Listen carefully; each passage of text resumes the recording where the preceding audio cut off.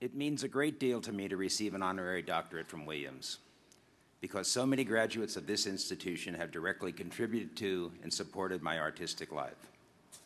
I want to take a moment to mention a few before I get on with the address.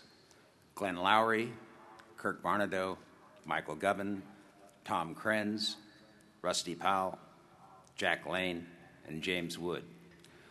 When I think about it, it's remarkable that this institution has had such an impact on the culture of this country. Now, to you, members of the class of 2008, today is your day, your rite of passage. You are the subject. One period of your life is ending and another one beginning, and today we have gathered to witness this event, this ritual. We call this occasion Commencement Day. When I look out at this graduating class, it's obvious to me that a generational gap exists between us, which does not allow for an easy transfer of experience. I also realize that advice is hard to give, but nevertheless, I will venture forth with a few tips, a few suggestions. I wanted this address to be about you and not about me. Therefore, I decided to preclude a personal narrative. I'm well aware that most commencement speakers present themselves as models by reflecting upon their achievement. But for me, it would be disingenuous to weave my autobiography in and out of this talk. I don't believe you'll learn much from my personal anecdotes. Nonetheless, the advice I will offer is the result of my life experience. You're going to have to rely on yourself to manage the world, to make the world intelligible, and in so doing, not allow yourself to be victimized. Identity need not be found in rejection. There are going to be disappointments and defeats along the way. You'll make mistakes, but don't blame others for your other, other errors and don't deceive yourself. By placing blame on others, you'll be able, unable to judge yourself, and this lack of acknowledgement will only compound your initial error. Admitting a mistake is usually a relief, if not a benefit. If possible, don't suffer fools gladly. Give them little heed to those who will attempt to quell your aspiration, for there will be many who want you to be as they are. Give them the shortest shrift possible, whether they be friends, classmates, parents, teachers, whomsoever.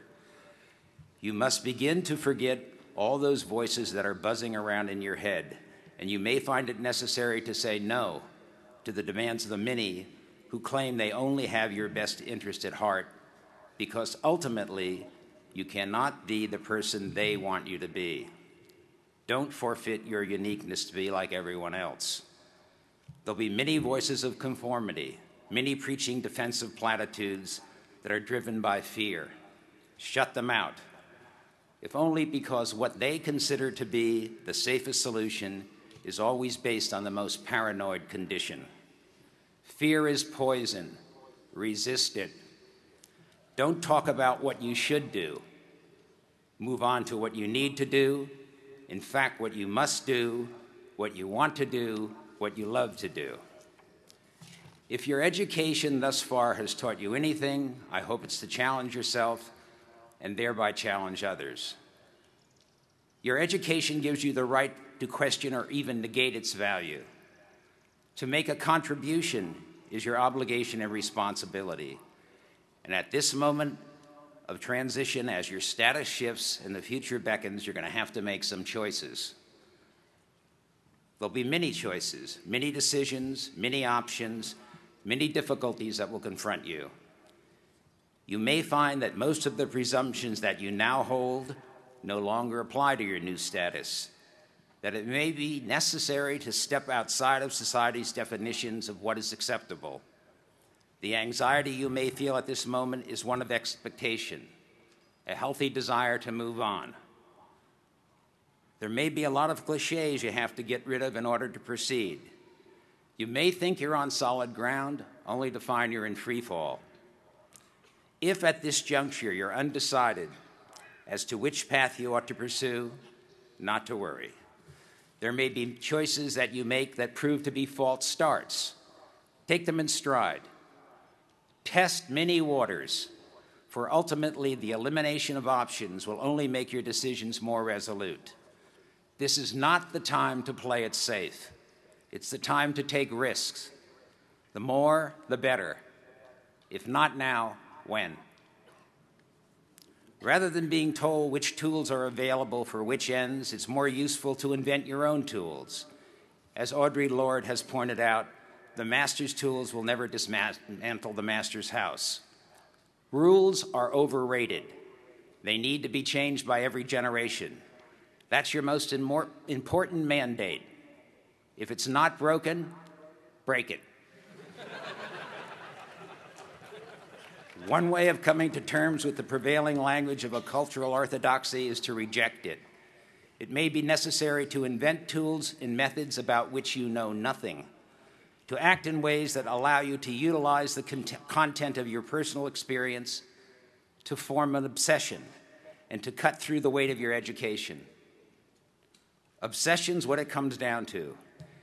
It's difficult to think without an obsession, and it's impossible to create something without a foundation that is rigorous, incontrovertible, and in fact, to some degree, repetitive. Repetition is the ritual of obsession.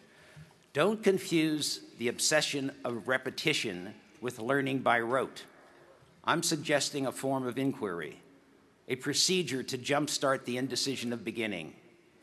The solution to a given problem often occurs through repetition, a continual probing. The accumulation of solutions invariably alters the original problem, demanding new solutions to a different set of problems. In effect, as solutions evolve, new problems emerge. To persevere and to begin over and over again is to continue the obsession with work. Work comes out of work. Solutions need not only be the result of constant repetition, there's another route, not so structured, but rather free floating and more experimental, but no less obsessive. It's to be found in the activity of play. I cannot overemphasize the importance of play. The freedom of play and its transitional character encourage the suspension of belief whereby a shift of direction is possible. Play ought to be part of your working process. Free from skepticism and self criticism, play allows you to relinquish self control. Playful activity provides an alternative way to see, to imagine, to do, to make, to think otherwise. In play, there are no ends, there are only means. However, means inadvertently can lead to ends. Rules can be made up as you go along, or even in hindsight.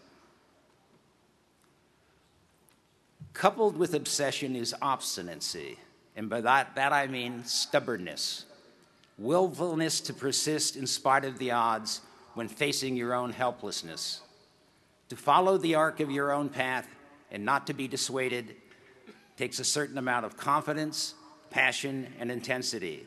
For how you do what you do will confer meaningfulness on what you have done. For me, process has always taken precedent over results. If only without the how, there is no what. Letting process take precedent over results does not necessarily guarantee that something new will emerge. Transgression is difficult to visualize, let alone conceptualize.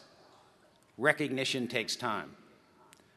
No matter what forms your thoughts take, follow them. If you don't care to follow through, others will not take you seriously. There are not going to be a lot of free rides out there or lifesavers. Most of you are going to leave this privilege bubble and enter the reality of your worth. You must learn to embrace your uncertainty and continually ask questions. Before you arrive at conclusions, keep in mind that we are all biased and have built in prejudices. Be aware of them before you pass judgment. To bring something into existence, to make, to write, to form, is already a familiar exercise to you. The challenge is going to be to probe the unfamiliar, to forget the certainties and rather deal with your insecurities and contradictions, to achieve the unprecedented Your private thoughts matter, and you must protect them. The anomalies that are particular or even peculiar to each of you define the edges of your individuality. Fight for them, nourish them, because finally, it's only your individual perception that's going to give reality a meaning. If you don't make the case for yourself, no one else will.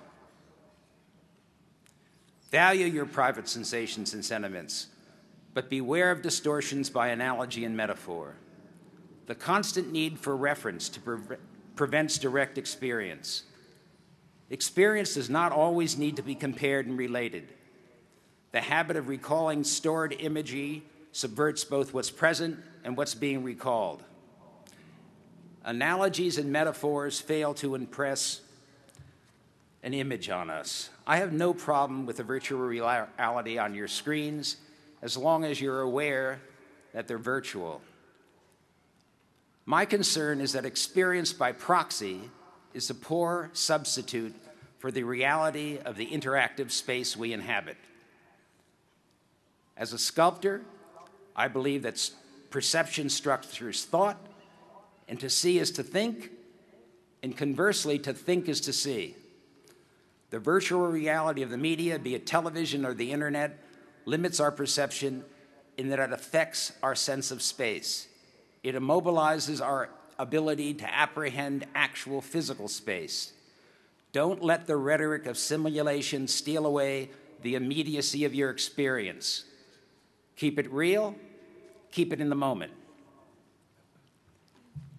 No one perceives anything alike. We only perceive as we are. And it is our individual reality that counts. Charles Olson said it well.